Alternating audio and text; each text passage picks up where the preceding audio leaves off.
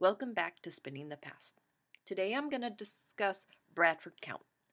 I'm going to be having other videos very soon where I'm going to be talking about the grist or the diameter of yarns, the weight of the yarn uh, that is found in historical sources. But if you don't understand when they talk about 32S or 64S, you want to understand what their issues are and and how to visualize that.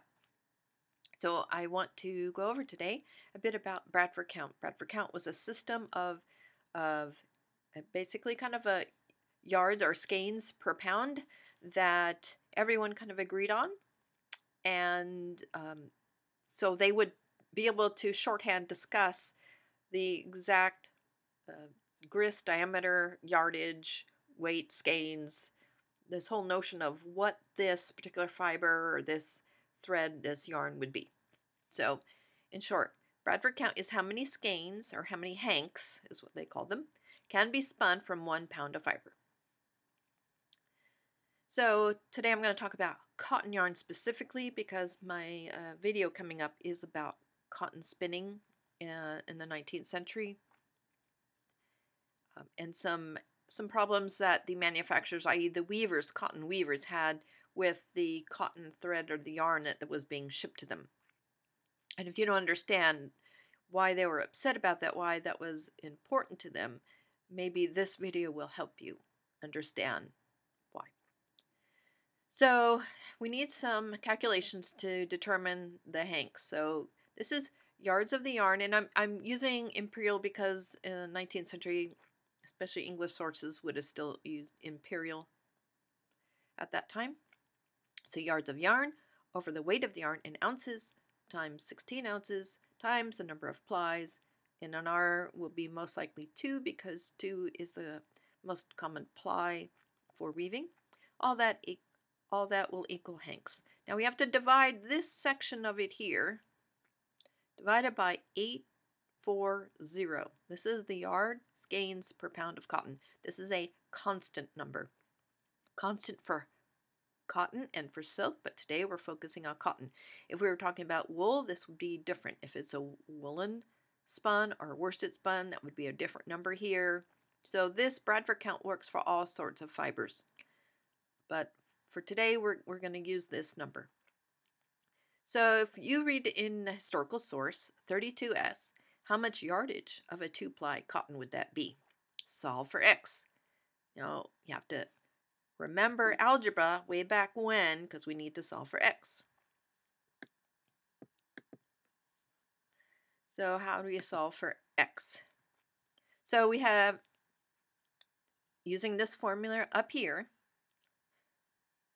because we're trying to figure out what the yards are, x over 16 times 16 times 2 equals 32, and this is this part is divided by 840.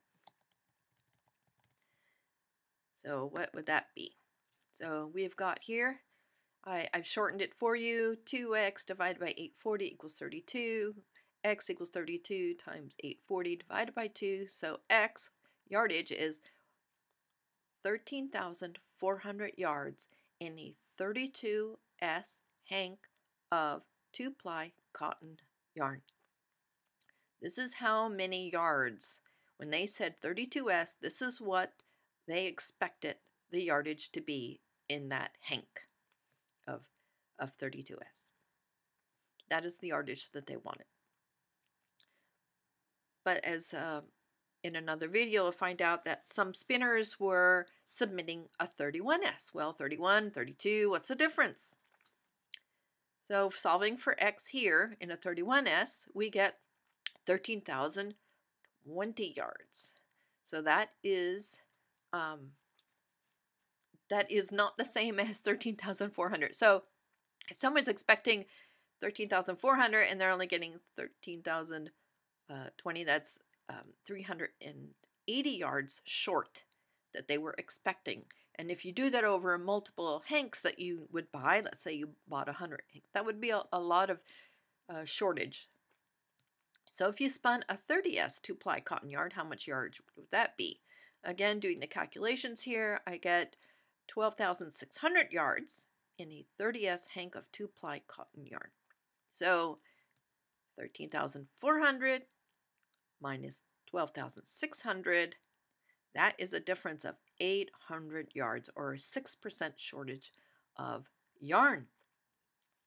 Weavers out there would know that that makes a huge difference. If you're being short shifted 800 yards, that is a lot of warp that you're not that you think you're paying for but you're not getting. So Bradford count matters. That's the the end all this. Even though you may think well 32 and 30 are, are so close in numbers, but really that's that's a lot of yardage to be short. Today, like I said, I just wanted to go over briefly some of some of this Bradford count because I want to do some subsequent videos very soon. And in the 19th century, 18th century, all the, the measurements that they talk about are in Bradford count or count. So to understand how Bradford count is calculated, why it's important to be accurate, I wanted to do this video today so that you would understand why why count matters, why accuracy in spinning matters.